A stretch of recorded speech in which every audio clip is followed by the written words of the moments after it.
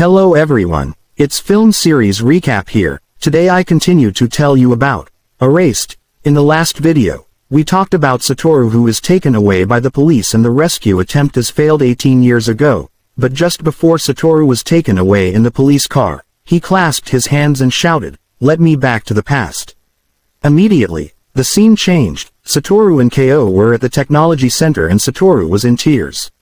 As time went back to February 29th, the day before KO was killed 18 years ago, it was already the third time Satoru celebrated this day.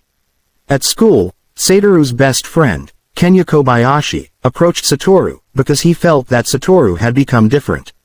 He had also noticed KO's injuries before, but he couldn't do anything about it until Satoru started to intervene in the case, so Kenya wanted to help him too, and March 1st passed peacefully. KO was killed on the night of his birthday, March 2nd, so this time he made sure to protect KO, and on the night of his birthday, he first went to Jun Shiratori's house to make a mess of his house, hoping Jun Shiratori would have an alibi. Then Satoru tried to kill KO's mother, but just when he wanted to push KO's mother down the stairs, Kenya stopped him. Satoru was still too impulsive. He went back to his mother's house and told her that he would bring KO back to his house, but this time Satoru became a kidnapper. Instead of bringing KO back home, he hid KO in an abandoned bus with Kenya. KO was absent from school and did not return home for two days.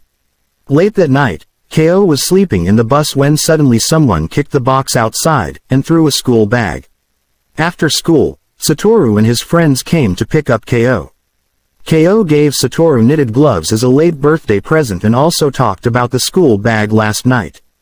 The guys opened the bag and found that it contained rubber shoes, tape, helmets, rope and so on. He remembered the whole KO thing when he first went back in time. The night of her birthday, March 2nd, KO had been brutally beaten and locked in the warehouse. She disappeared between 10 and 11 a.m., with the killer's fingerprints nearby.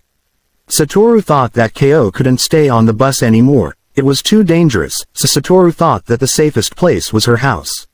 Satoru expected KO to have a safe night at his house, but Satoru's mother had called and explained the situation to the class teacher. The next morning, when KO saw the table full of breakfast, she ended up crying because her mother had never prepared anything like this. Satoru took KO to her mother's house after school and the child counseling center finally had the opportunity to meet KO's mother, who had been avoiding her for a long time, but KO's grandmother appeared and dissuaded her that her mother had divorced her and raised KO by herself.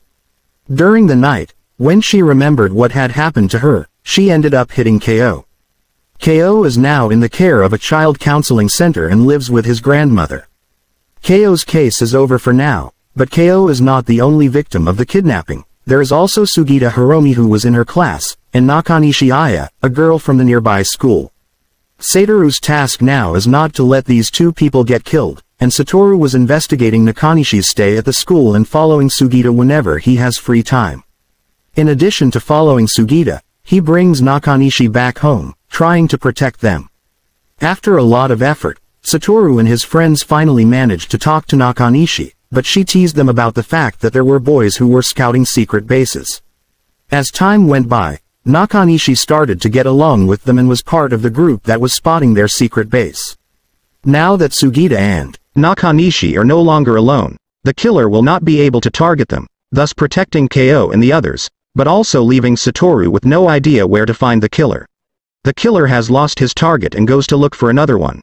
Sugita tells Satoru that Yanagihara Misato has been alone in class lately and that Misato has been attacked by her classmates. Satoru was following Misato to the gym, when he arrived at the gym, Misato was sitting alone, and before Satoru could talk to him, Misato went to the bathroom. Satoru then saw Jun Shiratori's car, which indicated that the murderer lived in the neighborhood. Satoru asked his homeroom teacher to help him find the murderer, and they followed Jun Shiratori's car. According to you, who is the culprit, if you know, don't spoil us especially, we will find you for the next video. If you like this video, don't forget to like it and subscribe to this channel.